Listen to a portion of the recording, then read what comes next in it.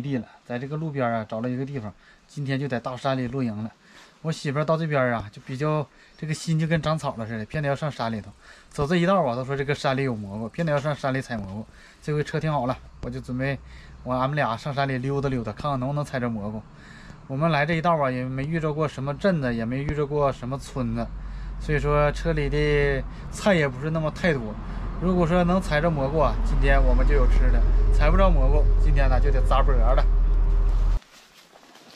这是一个在前面开路的。我们现在已经进入大山大山的深处了。我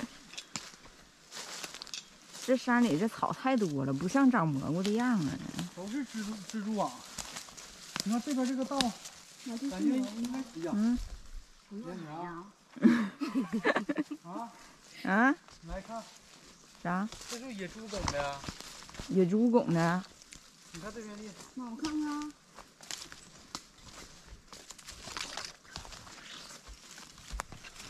这是谁刨药材刨的？昨天下雨了。哎呀，这谁在这嘎挖个深吧？看，进山的第一个蘑菇。哎，这真是真蘑。我看看。俩呢，这是底下个小的。真是。长到青苔上了。这是啥呀？哎，那个还有一个那儿。那这个好。真有蘑菇啊！哎呀，这么大的山能没有蘑菇？晚上炖蘑菇那块一堆那是啥呀？那不是紫色的，那不是红伞伞。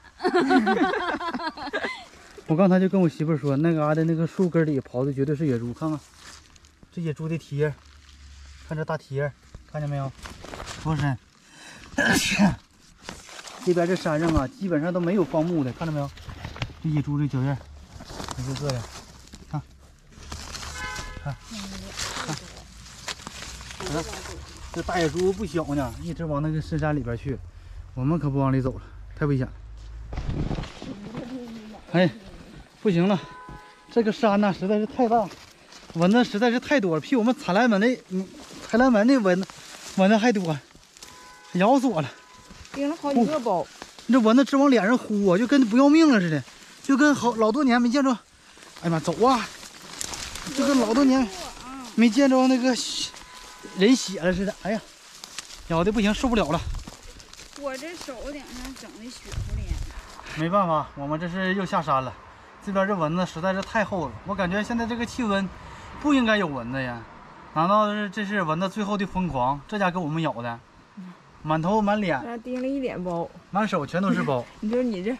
这一个，这一个，这一个，这一个，这一个，这一个，全是包。我手上也是，你看，一共就采了这么两块蘑菇，主要是一是蚊子多，二一个是真不敢采了。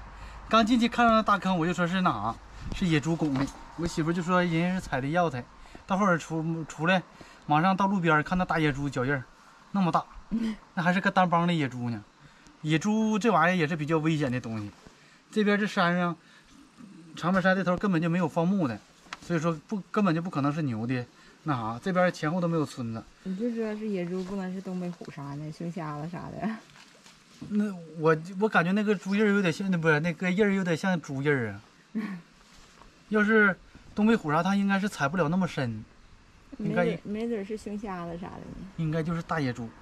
哎呀，反正拉倒吧，别往山里去了。我怕再走的太远了，再给迷山里头。再遇着真遇着。什么玩意儿？那这咱们就回不来了。哎呀，咬死了！哎，这蘑菇没采两块啊！我感觉我俩这脸呐，是越来越不行了。哎呀，中毒了！就是这边，看那边。哎呦我的妈！你中毒了！我这大包老大了，你都在鼻子咬。不是，这蚊子是不是有毒啊？还是它不是蚊子呀？这那纹是黑色的，是不是？哎妈，不行了，瞅这脸，黑花的。妈，这是咋办呢？瞅瞅，能不能过敏？这手上都是，这脸都那样式儿，你瞅。看这脸子一会儿能能肿吗？要肿了就完了，肿了就就得赶紧走。赶紧上医院吧。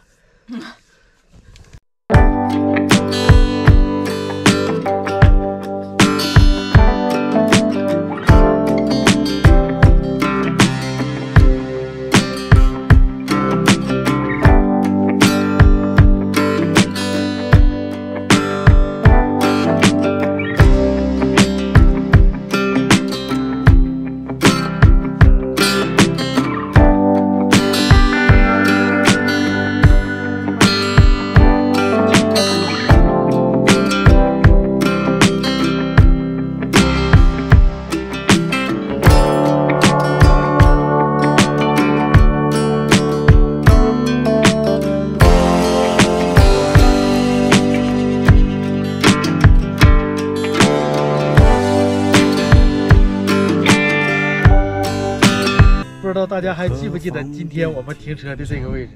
这个位置是去年我们开货车的时候来停到这儿的，那时还拉着小煤球呢。看那边那个台阶，我们去年来的时候，这边的雪是相当的大了，那个台阶上全都是雪。我们上也比较费劲，下也比较费劲。下了下不来了，坐着出对了。下的时候我是坐顶上呜出来下来的。今天呢也算是故地重游吧，再游一回的。故地重游，人依旧，唯一就是少了我们家的小煤球啊。哎，伤心事儿啊！先登到顶上，上顶上溜达溜达看看去。我们又进到这个大山里头了。去年冬天来的时候啊，这都是雾凇，相当的漂亮啊。但是现在，说冬天来的时候，这里边那雪老深了，都陷大雪壳里去。嗯，但是现在这景色也行，一个地方一个景色，一个季节一个景色。一个季节一个样啊。新还在那喊呢，二美她也过来了。上次是没有二美，这次二美也来了。咦，还有蘑菇呢。走到哪儿都能捡着蘑菇，这个真蘑好，你看着没有？啊嗯，捡点回去够吃了，还有没有了？整够一盘儿。采了这些蘑菇，够回去剁小鸡儿了。这么两个蘑菇买个小鸡儿。来，我再给你们表演个冬天的绝活啊，坐坐还出溜。出溜啊！啊，你前面有人，我害怕给你撞着。没事，我给你开道。俺去年新宇在这嘎坐着出了，呃呃呃呃。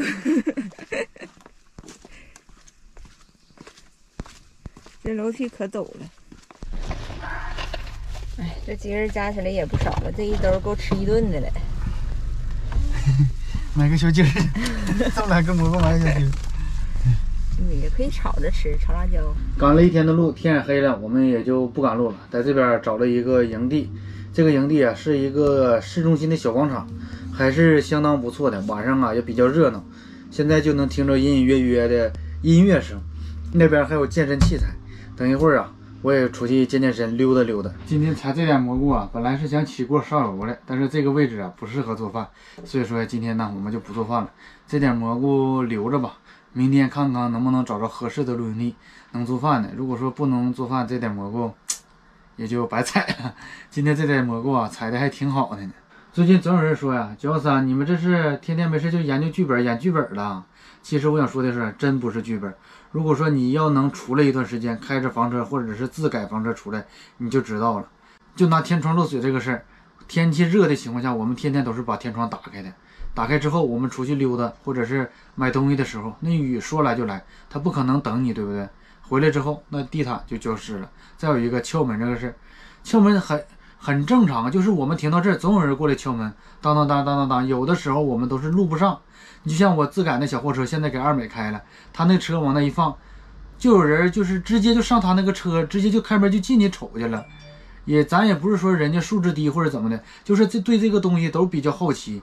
现在我们这个三个车停到这儿三样，很多人都好奇，总有人过来敲门的。你像前两天我遇到那个粉丝就也是，他知道我车在这，当当当敲两下门，完了门开了，你看我没在里头，完了人转身就走了，我在别的车出来，我们就唠了一会儿。在这儿也是，总有人对我们这种出行方式吧比较好奇，还有很多情况啊是录不下来的。就比方说有一次我做饭，就来了一个大哥，看我这个唐三百呀也比较喜欢，就想上去看看。我说那你就看呗，没事。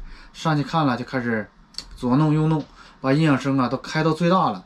我在外边啊都感觉老震了，但是你也不能说，反正是钥匙也没给他，钥匙给他，估计他都得开走了。这种情况下，就是很多事，你出来自驾吧，能遇到很多很多事，什么样的人都能遇着。